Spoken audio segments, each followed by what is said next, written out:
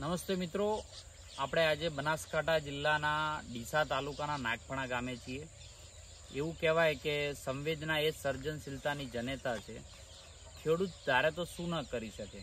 આજે એવા જ એક પ્રગતિશીલ ખેડૂત ડીસા તાલુકાના ડૉક્ટર લાલજીભાઈ પટેલના ફાર્મ પર આવ્યા છીએ. એક બાજુ આપણે કિસાનની આવક ડબલ કરવા માટેના પ્રયાસો કરી રહ્યા છીએ. કિસાન સદ્ધર કેવી રીતે આવે અને નવી દિશા કેવી રીતે આપી શકે? એના જ ભાગરૂપે આજે તમે જોઈ રહ્યા છો કે આખા ખેતરની અંદર સોલર પેનલ આખા ખેતરની અંદર ગોઠવાયેલી છે.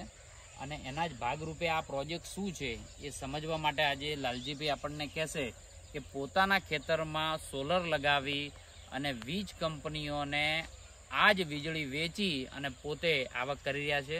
નમસ્તે લાલજીભાઈ. નમસ્કાર. લાલજીભાઈ આ પ્રોજેક્ટ વિચાર કેવી રીતે આવ્યો તમને? આ પ્રોજેક્ટ પહેલાં તો હું મારી હોસ્પિટલમાં સ્ટોરની અંદર કોલ્ડ સ્ટોરેજની અંદર વિચારતો હતો. પછી એની અંદરથી પછી મને આ લોકોએ પ્રેરિત કર્યો કંપનીવાળાઓએ. ઓકે. અને આ પ્રોજેક્ટ લગાયાનું ટોટલ જગ્યા કેટલી રોકાયેલી છે આમાં? આની અંદર સાત વીઘા જમીન રોકાયેલી સાત વીઘા. અને કેટલા કરોડનો પ્રોજેક્ટ છે? છે આ ટોટલ સાડા ત્રણ કરોડનો પ્રોજેક્ટ સાડા ત્રણ કરોડ પ્રોજેક્ટ અને કેટલું રોજનું ઉત્પાદન કેટલું આપે રોજનું સરેરાશ ઉત્પાદન ચાર હજાર આઠસો યુનિટ પર ડે થાય.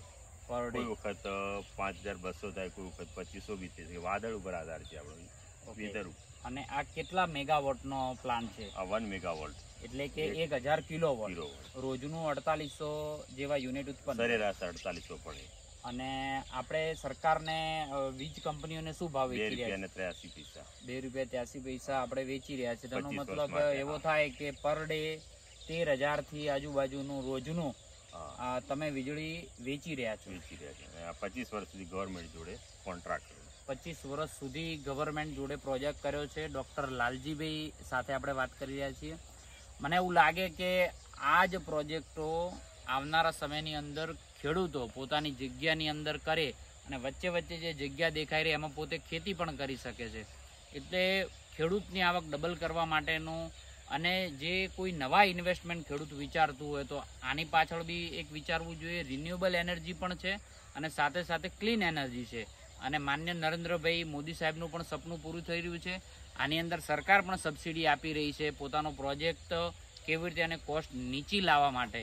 અને આવા નયા નયા આવામો આયામો સર કરી અને ખેડૂત પોતાની રીતે સદ્ધર થઈ રહ્યો છે. તો સૌને વિનંતી કરીએ કે એકવાર આ ફાર્મની મુલાકાત પણ લેવી જોઈએ અને સાથે સાથે ખેડૂતો પણ પ્રેરિત થાય કે આપણે ખેડૂત ઉદ્યોગ સાહસી જે યુવાનો છે ખેડૂતો, એને પણ આપણે વિનંતી કરીએ કે પોતાની ખેતીનો કેટલોક ભાગ આવી રીતે પણ સોલર એનર્જી ઊભી કરી અને આપણે આવક મેળવી શકીએ છીએ.